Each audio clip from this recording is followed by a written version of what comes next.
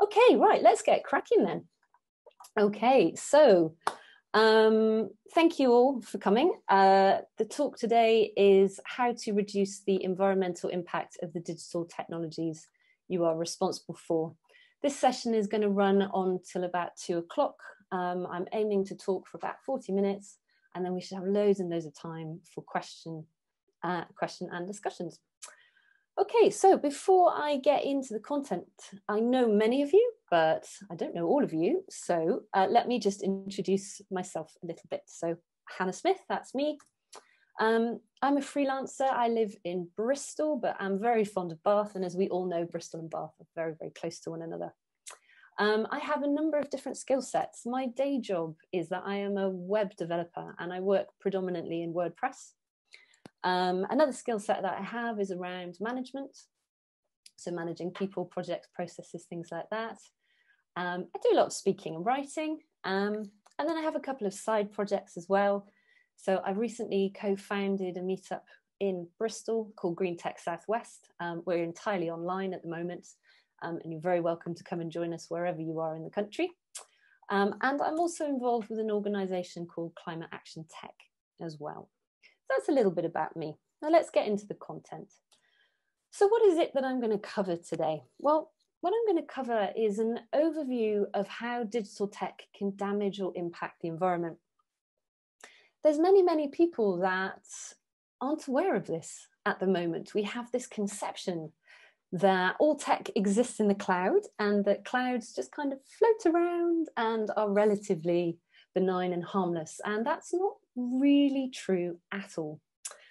So I'm going to talk talk to you about that and hopefully dispel a few myths. I'm going to talk about the impact that tech has when it's manufactured, as well as when it's used. Um, so we're going to talk about the whole life cycle. And throughout the talk, hopefully you'll find that I'm littering it with tools and, and practices and practical things you can do that might help uh, you to lessen your impact. I always think that when you talk about what something is, you should also talk about what it isn't. So there's a few things that I'd like just to make clear about what this talk isn't. So this talk is not hating on the internet or tech in any way. I am a self-confessed tech head. I work building websites for a living, so it would be mad for me to give a talk hating on the internet and tech. Um, I do love tech uh, and the opportunities that it brings, I think are phenomenal. But a large part of this talk is about highlighting how wasteful we are with tech. And again, it comes from this, uh, I think, this um, thought process that maybe tech doesn't really have a cost or, or an impact. The other thing that this talk isn't is statistically exact. It's actually incredibly difficult to get rock solid statistics about the exact carbon emissions of downloading one site or another, um, or about the cost of manufacturing X, Y, or Z. Um, but I have found some statistics and I've tried to find the most credible sources that I can, and they're all credited as well. So please, just any numbers I give you, they are intended to give you a sense of the size and scale of the problem rather than to be a number that you uh, you know you absolutely hold hold on to because it's complicated and it moves all the time these numbers. For, for reasons that we'll get into a little bit as well during the talk. Just going to have a quick sip of my water. Okay. And then the last point is that this talk is not going to go in depth into climate science or why there is a climate crisis um, I'm working on the basis that you are here because you are already aware that we have a significant problem. Um, but I will just show you this one diagram that I sometimes re remind myself of. Um, so this is showing us the carbon dioxide in the atmosphere over the last 800 years. And we can see right now um, that we're at a, at a situation which is unprecedented. Uh, to use that word again, that damn word, unprecedented, pops up everywhere. Um, so, you know, if nothing else, I think this is a, a real wake up call for us to crack on with this pretty, pretty sharpish. Okay, um, so then just one other little warning. If you haven't ever considered the impact of tech before, um, you may get uncomfortable at the start. Um, some of the things I'm going to talk to you about aren't nice and they're things that you probably don't want to know about because they're they're not cool in any way shape or form. Um, so look just a warning that you know some of this stuff may be uncomfortable but i'll try and balance that by um, you know talking about loads of easy stuff that you can do to make a difference like today um, as well. Okay so hopefully that's the scene you know a little bit about who i am a little bit about what i'm going to talk about. Let's get into it. So, the very, very first thing that I think it's really important to communicate when we're talking about this whole arena of environmental impact of tech is that I firmly, firmly believe that reducing the environmental impact of tech is not a coding problem. It's actually a human problem. And what I mean by that is that a lot of the tools and approaches that we need to make a difference are already there. And a lot of it comes down to our behaviors and our choices. So, more specifically, we can already make an enormous, enormous difference today by using practices and well known techniques that are already out there. Culling and getting rid of data that we won't use or don't need in the first place. And we'll talk loads about that throughout, throughout the talk. We can also make a really big difference by not buying hardware that we don't need. And we'll talk about why that has such a big impact in a second. And last up, we can educate ourselves and others. And, and you are already here doing that today. So, you know, thank, thank you for being here and, and for listening. Um, so there's a nice little link to an article at the bottom there. That's really sort of meant for any developers in the room what I tend to find is that when developers, and I am a developer myself, um, when developers first hear about this problem, one of the first things that they want to do is go and create tools or software to help with this. And this is a really, really, artic- really interesting article that says, okay, yeah, you might want to do that, but actually consider your human impact first before you go off and do that. Anyway, essentially, I believe with all of this stuff, uh, knowledge is power. So you know let's empower ourselves and others to know about what's going on here. Okay so let's start talking. What what is going on here? What is the environmental impact of tech and particularly digital tech? That's what i'm really focusing on today. So let's just talk about the size and scale of the problem first up. So let's ha- have a look at the overall emissions from ict um, ICT is, is a, a, word that's used an awful lot in academic papers to talk about internet and digital tech. Um, so if you see me using the word ICT, that's what it basically means. It's digital, digital technologies. Just going to have another drink.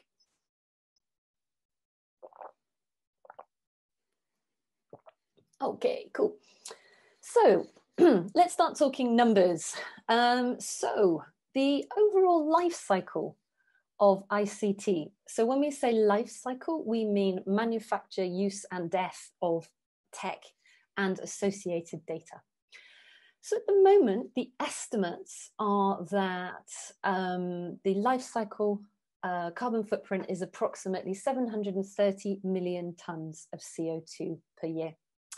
So what we're looking at at the moment is that the digital sector is responsible for about 1.4% of global carbon emissions. So if you're anything like me, numbers are like, um, yeah, numbers are, well, they don't mean anything unless they're in context today. So what exactly are those numbers equivalent to? Well, a lot of people will say, oh, well, the internet is equivalent to flying to aviation. And there is some truth in that, but that's not entirely true. Um, the internet and digital technologies are on a par with the fuels burnt by the aviation industry. You can't, it's not the entire life cycle of the aviation industry, but it is on a par with the fuels burnt.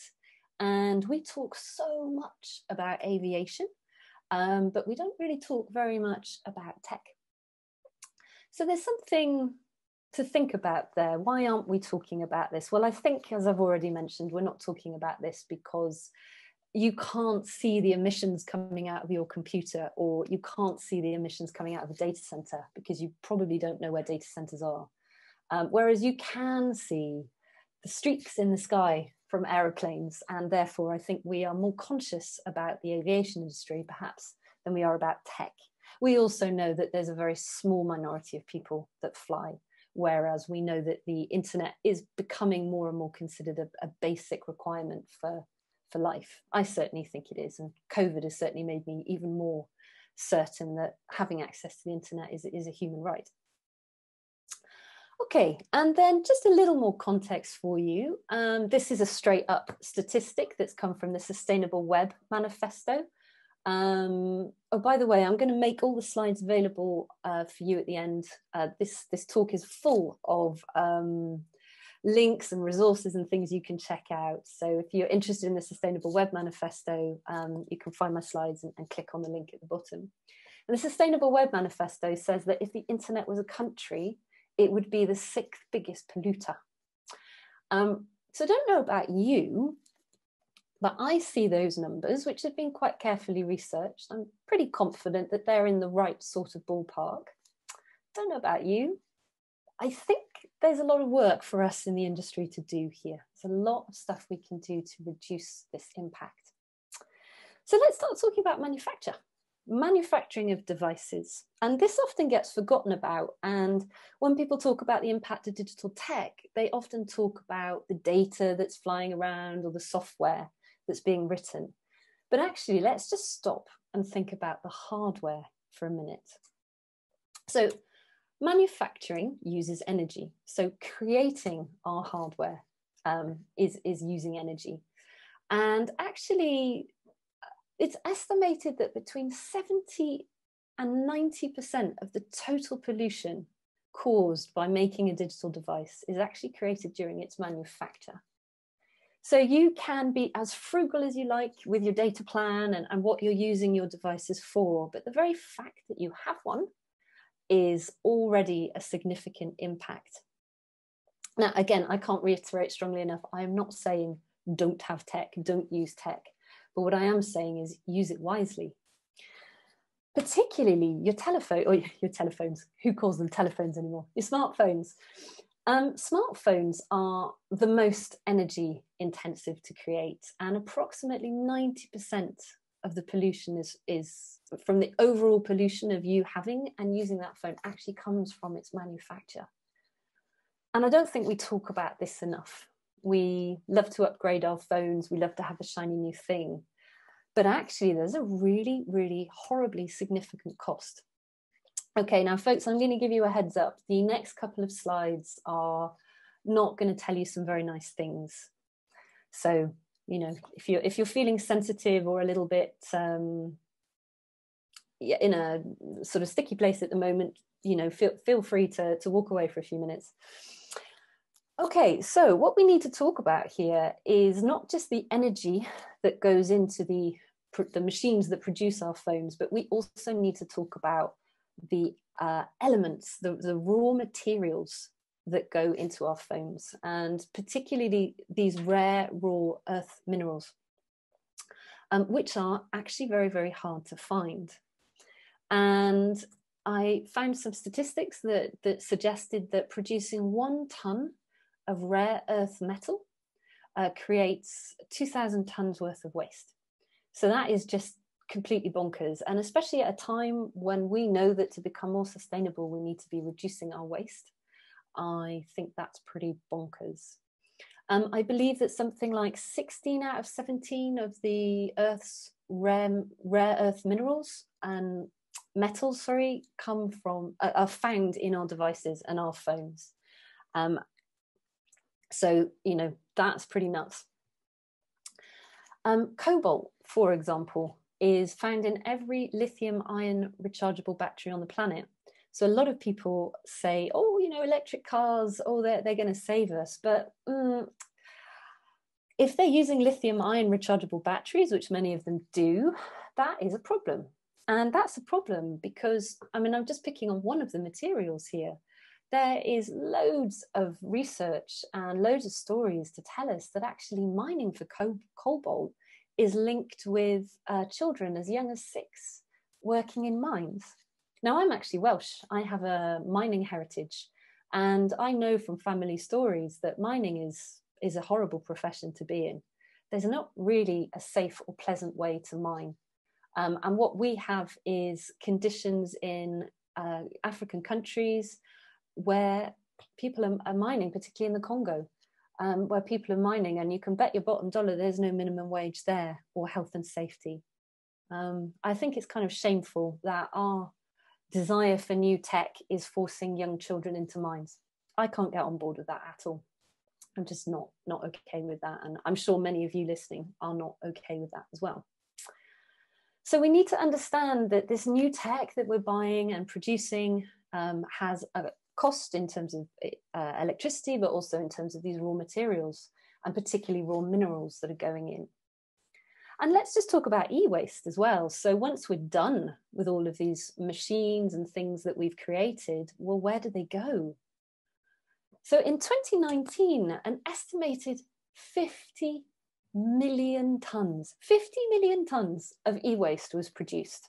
So just stuff that we know, electronics and cables and machines that we no longer need becomes e-waste. The UN estimated that in about in 2016, only about 20% of e-waste was actually recycled globally across the world. I haven't managed to find any newer figures on that. So if anyone does know of any newer figures, please pop them into the, the Q&A and I'll, I'll happily follow up um, and, and read up more about it. But yeah, in 2016, 20% of e-waste, that's not good. That's really not good. And the EU Parliament estimates that just obsolete cables generates more than 51,000 51, tons of e-waste a year. And I bet if we all go and have a look in our office drawers, or I, I don't know about you, but I stick all my stuff in the loft, um, there'll probably be uh, bags of cables that you have as well.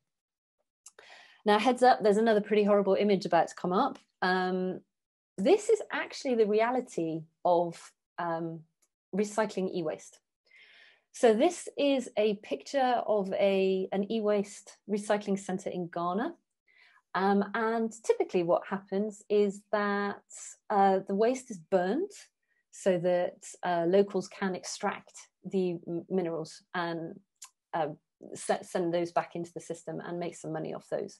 And I don't know about you, but honestly, when I think of something being recycled, this is not the image that comes to my mind. I imagine something cleaner and better. And so again, I think, you know, we're hitting upon another truth or uncomfortable truth here, which is that all is not what it seems with tech. We have these lovely slim, slimline machines that make us think everything is clean, but behind that is is hidden quite an unpleasant story. Well, a very unpleasant story. Okay, so that was a lot of doom and gloom. So let's talk about how we can make a difference. So these are very, very much human decisions and choices and behaviors that we can make. So, first up, um, do you really need to be upgrading to the latest device? Um, many of our mobile phone plans offer free upgrades, and we think, oh, that's free, great, or doesn't cost very much. And actually, it does cost someone somewhere, it's just that we're not seeing that cost. So, do you really need to upgrade to the latest device, or can you eke another year or two out of what you've got. Could you repair or upgrade a broken device? Um, this used to be a hobby of mine back a long time ago was fixing old windows machines and kind of building my own machines not so much now a little bit because uh, i don't know about you but i'm finding particularly things like macs a little bit harder to fix there are certain types of phones that are being created so that they're not fixable.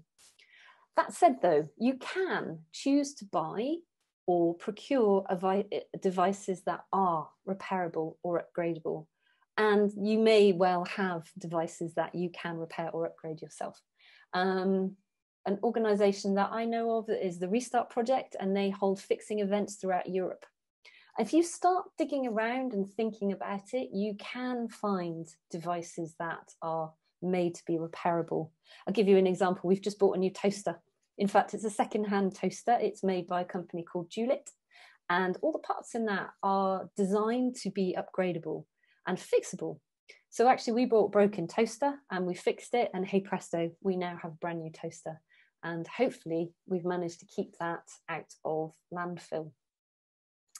So, another thing then that you may be able to consider to make a difference is perhaps buying a second hand device, which I just talked about there, or maybe an ethically made device. Um, there isn't a huge amount of choice in ethically made devices, particularly like technical electronics. Um, for telephone, call them telephones again, smartphones, uh, you might want to check out a company called Fairphone. Um, and there's also Ethical Consumer, which is a, a, website that does a whole load of research and analysis about tech, and particularly devices.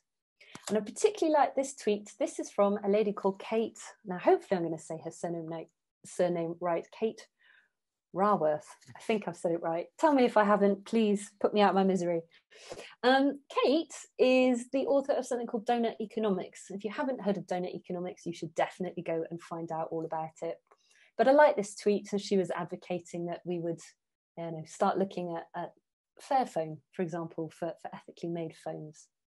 So there's something to think about there. So there's some human things that you could do today to start questioning, you know, how can I make an impact? What do I actually not need? Or what can I reuse or, or recycle from, from other places? Okay, so we've talked a load about manufacture there. I don't really have much else to say on manufacture at this point. The kind of purpose of this talk is to trot through quite a number of different areas to give you ideas in all different aspects and some of those aspects will be interesting to you, some, some won't be. Um, but I'm going to talk to you now a little bit more about the actual use of tech. So I'm just going to have another sip. Okay. So I said to you that sort of 70 to 90% of the cost, the environmental cost is with uh, comes from the manufacture of your device. Let's talk a little bit more about the use of your device. And this is where a lot of people do tend to focus. So, and we can talk about how that use of your device has an environmental impact as well. So, using the internet requires lots and lots of energy. So, running servers, downloading data, uploading data, viewing the latest stats, etc., all requires electricity. And at the moment, about 3.6% of global electricity powers devices and internet use. So 3.6% of all the energy across the world is powering the internet or tech, digital tech, or ICT, if you're in academia, you might call it that. Okay, so all right, so what? Well, I'm sure many of you aware are aware that energy production itself is not impact free. So it wouldn't be an issue if all energy production was impact free. Um, but it really, really isn't. So in 2018, um, it's estimated that producing one kilowatt hour of energy uh, created just under half a kilo of, um, of pollution, of CO2 pollution.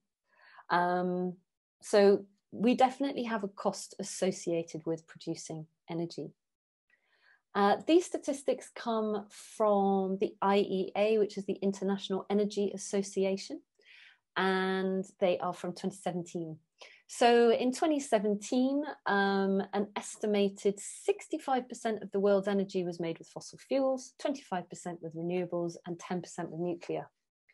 We definitely know fossil fuels are bad. We do not want to be using fossil fuels to make our energy. And wherever possible, we need to be moving away from that. Renewables, yes, okay, they are definitely um, a big improvement on uh, fossil fuels, but they are also not without their impact. If we talk about the manufacture of renewables, um, it, it, costs um, resources and creates pollution to manufacture solar panels and wind turbines. And at the moment, we don't really know what we're going to do with them when once they've reached their end of life. So we definitely know that fossil fuels are bad. But really, what I want to get across to you in this talk uh, is my opinion is that renewable energy is not a panacea. So it's not going to fix all of our problems by moving to renewable energy because it still has an environmental impact.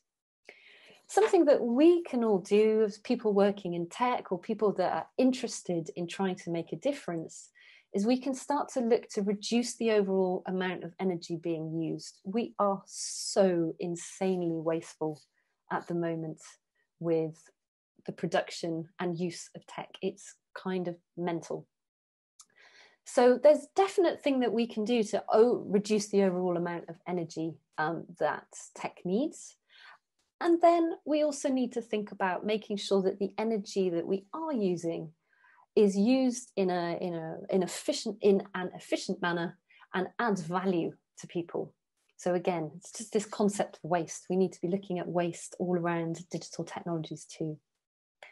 Okay, so I'm just going to kind of get into a little bit more uh, technical stuff now. I'm not going very technical, so don't worry if you you don't really know what a server or a network is. Don't worry, I'll keep it high level.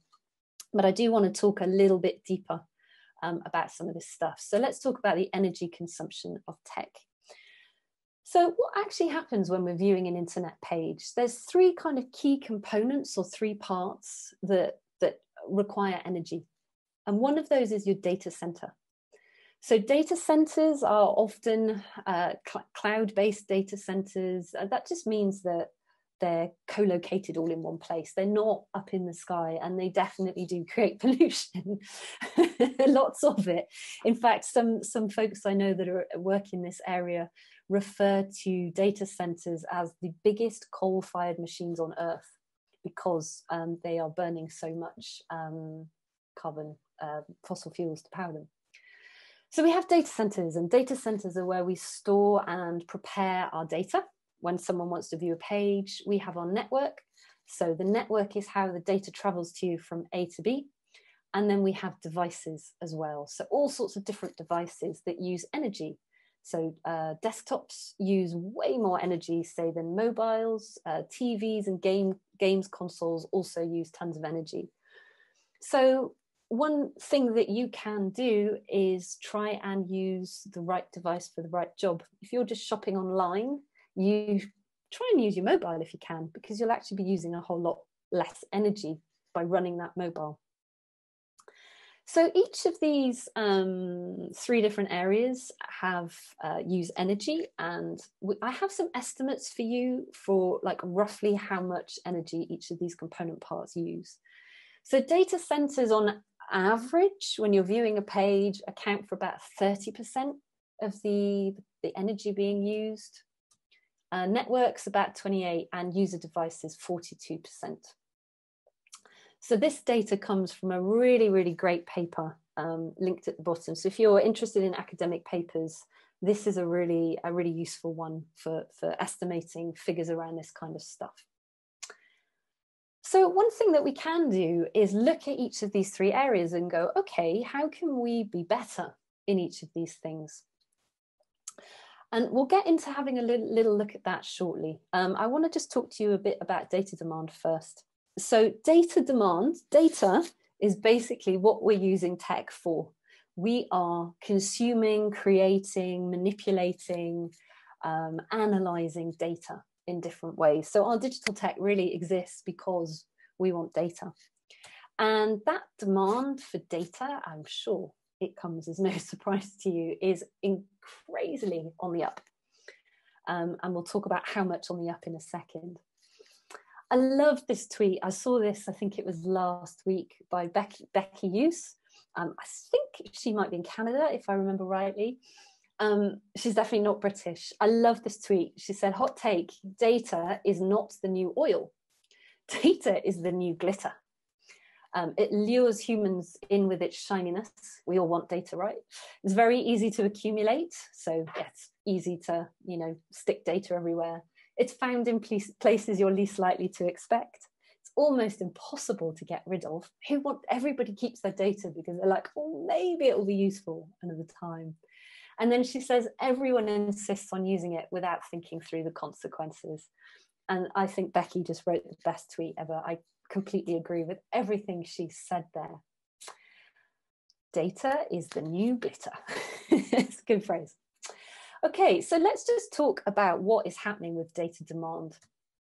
So these, this is some uh, statistics um, about the annual global IP traffic. So this is the amount of data that's whizzing around the internet uh, year on year. So the internet, just just go with me on this. Uh, people might argue different dates, but let's just say the internet roughly came into existence in 1987.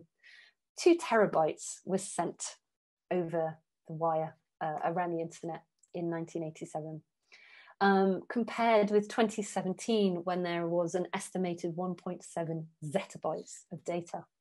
Now, if you have never heard of a zettabyte, you are not on your own. I, when I was researching this talk, uh, sort of a year or so ago, came across all these terms, and I've listed them in the bottom right-hand corner of the screen for you, so you can start to get an idea of just how astronomically, mind-bogglingly big these numbers are. Uh, this is one zettabyte with all the zeros on the end. Um, there's lots of zeros. It's 21 zeros, in fact. Um, so this is a lot of data that flew around in 2017. Um, and then by 2022, it's, it's estimated to explode even further to 4.8 zettabytes, uh, which is kind of bonkers. And a lot of that data is coming from all different places. Um, video is a big source of it. So watching things like Netflix, analytics is a really big source of, of data being created and generated too, and gaming as well. I'm not really going to talk about any of those things in this talk because I don't feel it's relevant to everyone. I'm just going to keep to talking about internet and internet pages. So I want to show you some statistics from something called the HTTP archive. Um, the HTTP archive, if you're a bit of an, a data nerd like me, you'll love it. You'll probably lose several days to poking around in there.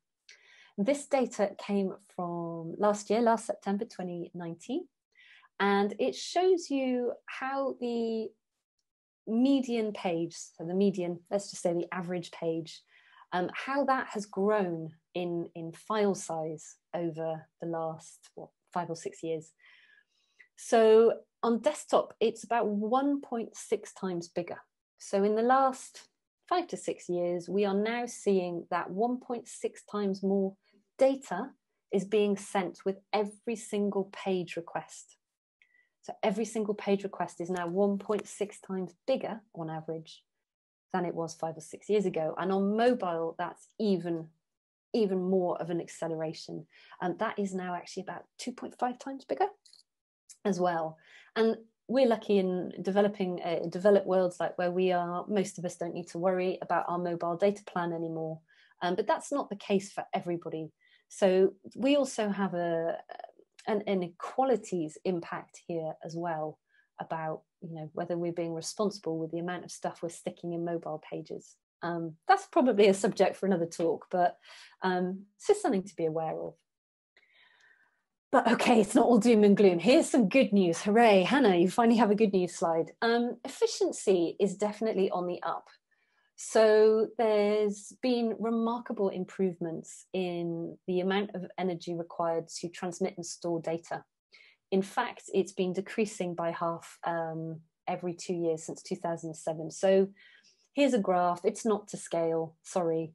I really need to fix this graph actually, but you can see that between 2007 and 2010, the amount of data, uh, the amount of electricity being used by ICT shot up quite a bit even though we know that demand massively skyrocketed between 2010 2015 you can see that the amount of energy is, is flattening out even though demand is like shooting up. So that's that's a good news story. But what could we do if we actually reduce demand?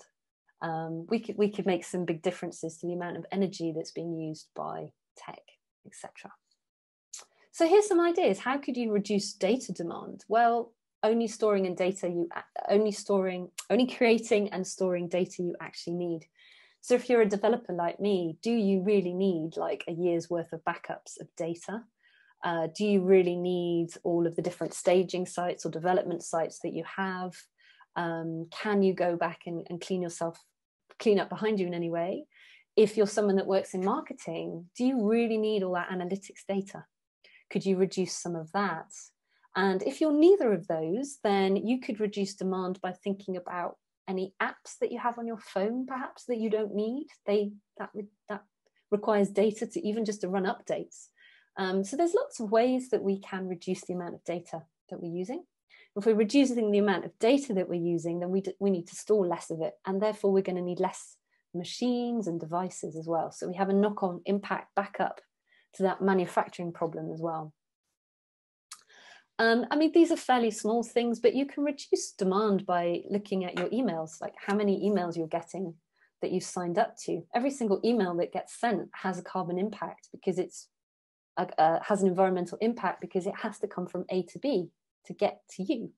So, you know, are you just deleting emails from your inbox, or maybe you don't even delete them? Maybe you could unsubscribe.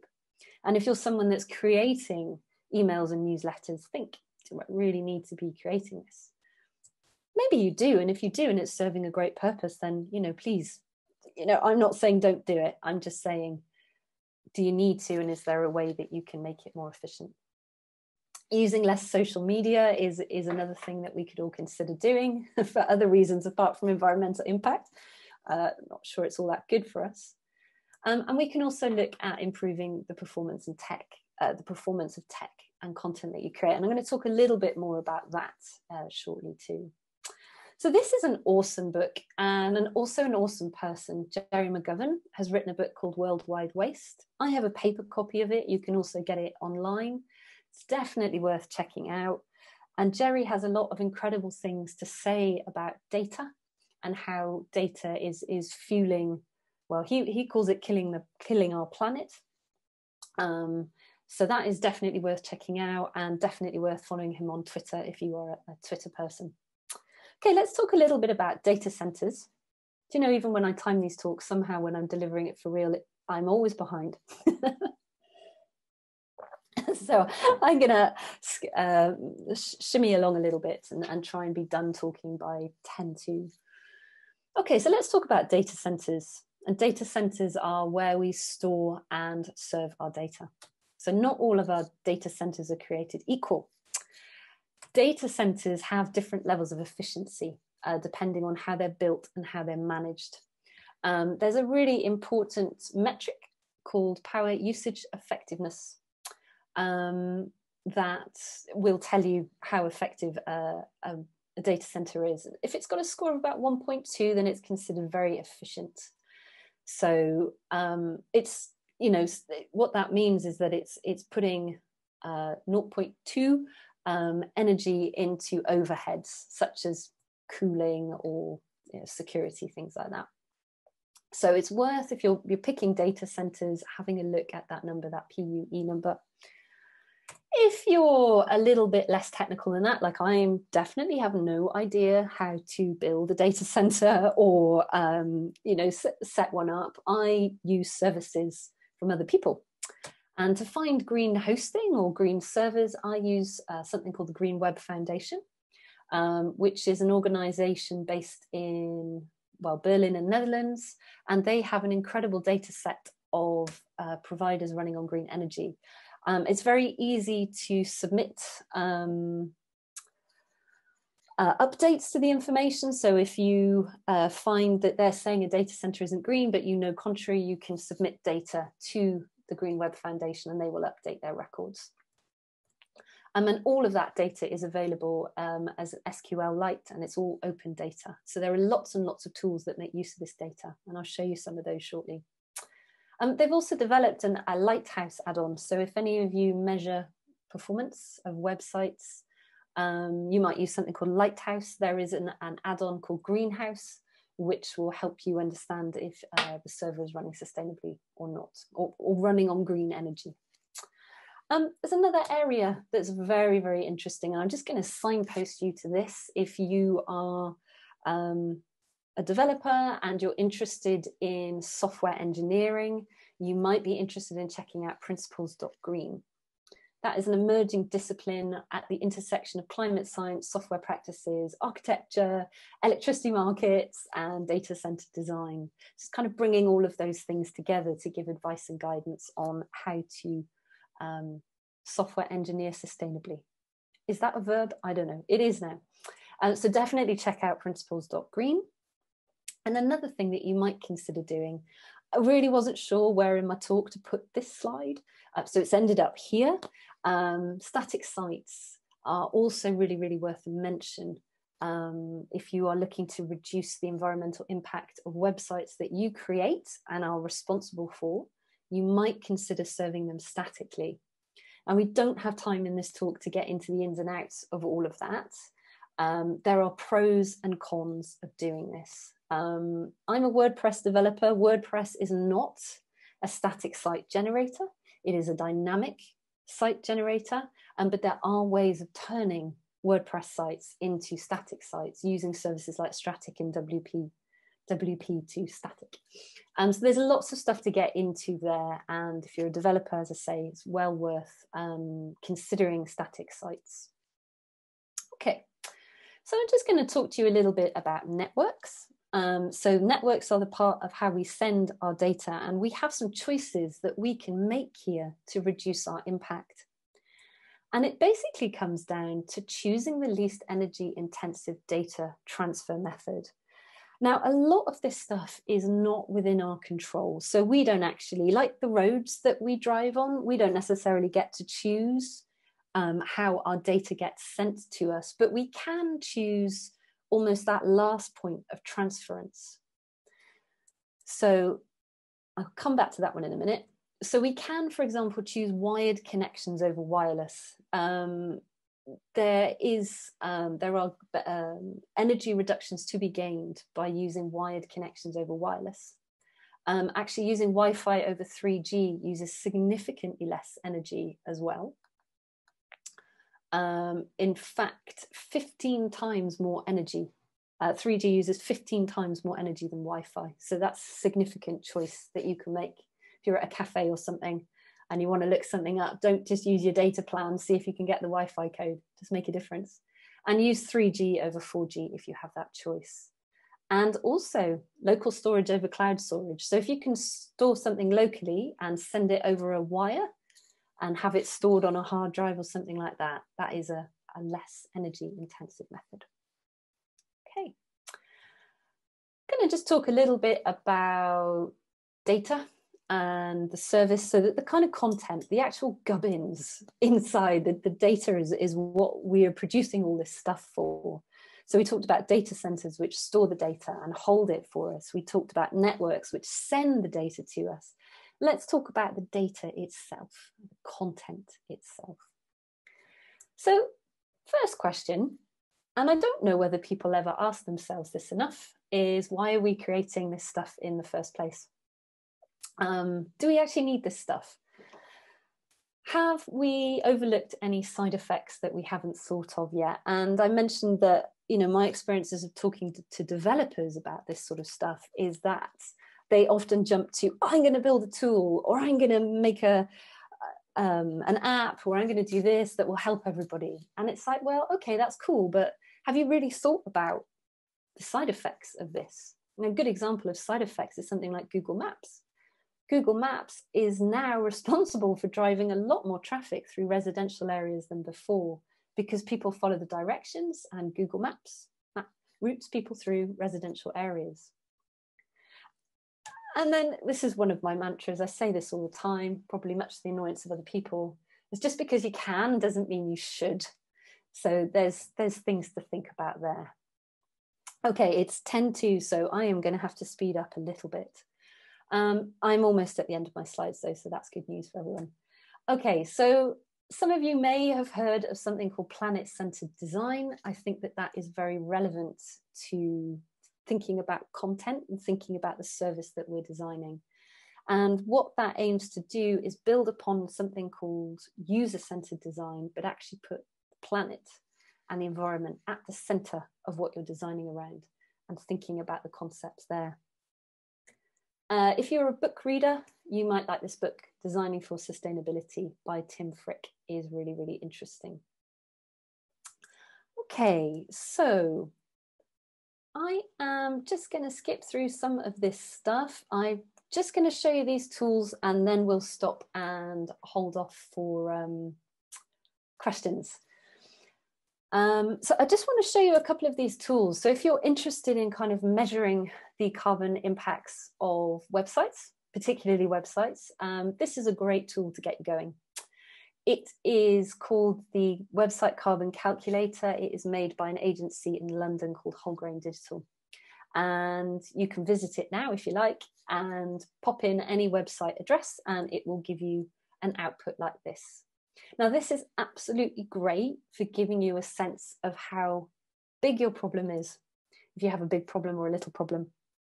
Um, it's not the only tool that's out there and it doesn't give you an awful lot of details. So if you're a developer, you're going to find this tool probably useful for talking to showing clients that you have a problem, but not really so useful then for um, actually fixing the problem. So there's a couple of other tools that I signpost you to. One is called EcoGrader that gives you a lot more in-depth analysis and a new one that's currently in beta called EcoPing that looks really, really interesting too. And so basically as a web developer, um, we and designers, we need to be thinking that planet friendly content basically has small file size. So a lot of people in the world of performance will be focused on page speed load, page load speed, speed of page load, let's say that. Um, and actually, if we're interested in planet friendly content, that's not really the right metric to focus on because you can almost like fudge the system and actually serve bloated content really quickly. And what we're trying to do is only really serve the bytes of data that matter. So the metric for us as developers to be thinking about is page weight budget first, and then speed of page load second. But it's that page weight that really, really matters. And the biggest impact comes from video and media. So I have a few more slides here to just encourage you to uh, really pay attention to media content.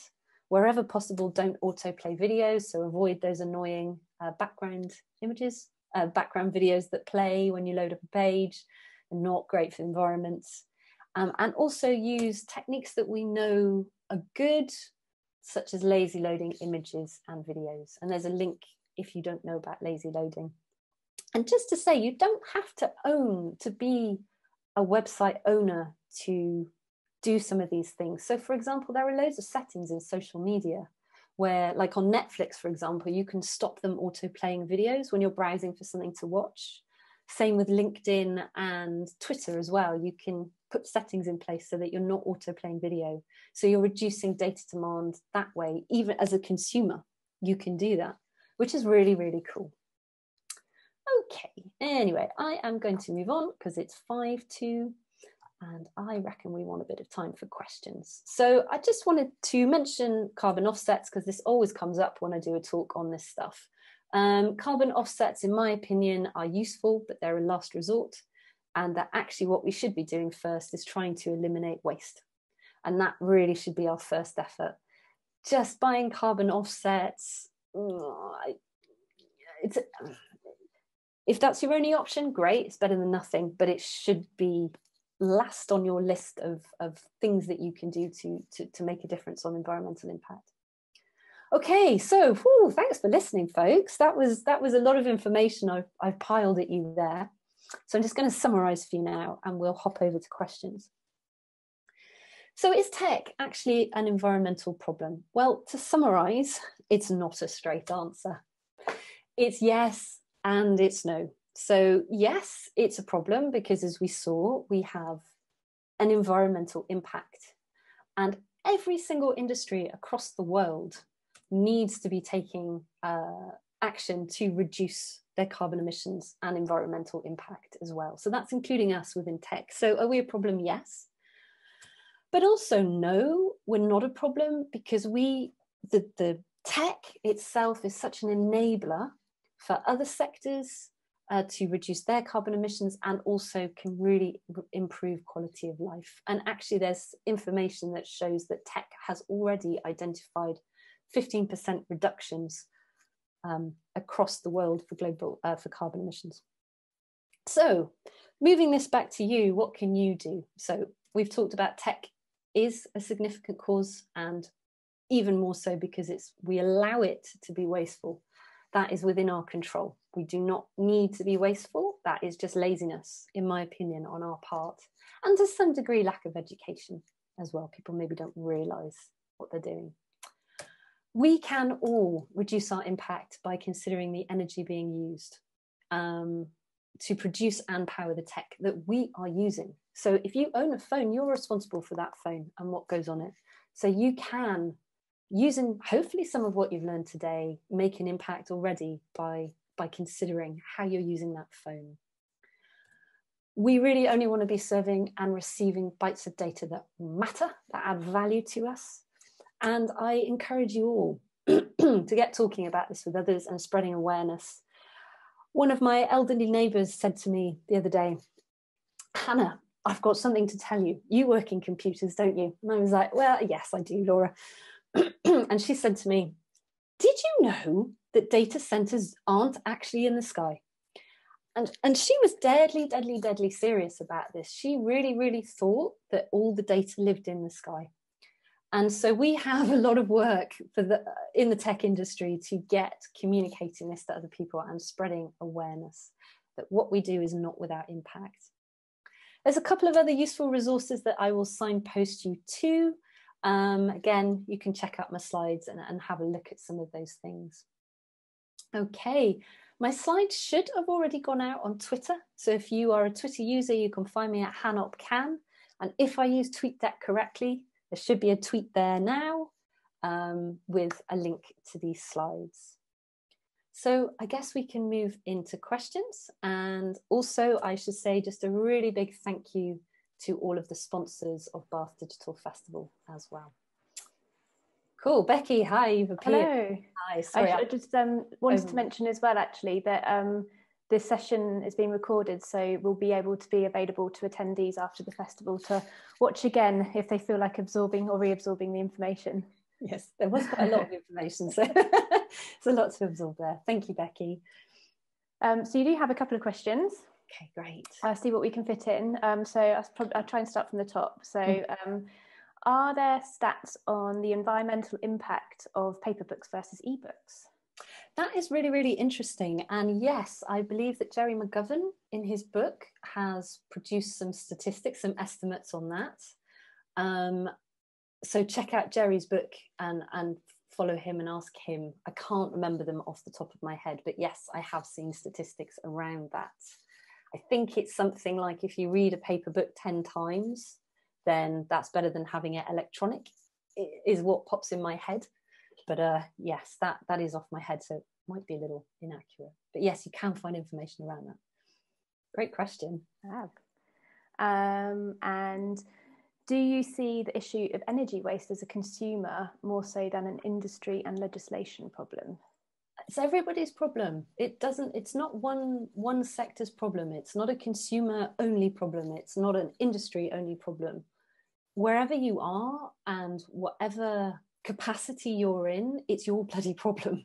I hate to say it, I'm sorry, it's an awful thing. I do think that those of us that are in tech have a lot more um, opportunity and privilege to make a bigger difference. But I do think it's up to everybody. I think if you're a consumer, you want to be trying to buy renewable energy as much as you possibly can. If you're in industry, you want to be procuring that as much as you possibly can. But I do believe that this is climate change, the environmental crisis that we have is everybody's responsibility in every capacity. Great, great question. So this one probably leads quite nicely on from that. Um, so someone's asked, um, you seem to focus more on the actions of web developers, companies, data centers, etc. Should we be focusing on these, or is there a case to be made for users collectively changing our online behaviour? If yes, what is the top guidance you would give, assuming we will not stop sending emails or doing Zoom calls, for example, especially given given the alternatives are also energy consumptive? Oh, okay. There's a lot in that question. Um, I do think that it uh, it would be great to see some more people-led campaigns around reducing our waste of what we're doing. I do tend to focus more on developers and things like that purely because that's where I work that's the that's what I understand best but also because we know that tech digital services are such an important driver of behaviors as well So if we had Netflix, for example, starting to say, did you know that watching this trailer just consumed, I don't know, 400 grams of carbon, we might start to see some changes being made. So, I mean, something I do in my spare time is I contact all the companies that I use, either as a, a web developer or, or, as a regular consumer, and, and ask them questions about their environmental responsibility and their sustainability policies, and particularly with regards to tech. And I would love to see more people joining in and banding people together to, to, to, to put some campaigns forwards on that. Greenpeace in the past have done some amazing stuff. Um, check out the Click Clean reports if you haven't come across them before. They're really, really good.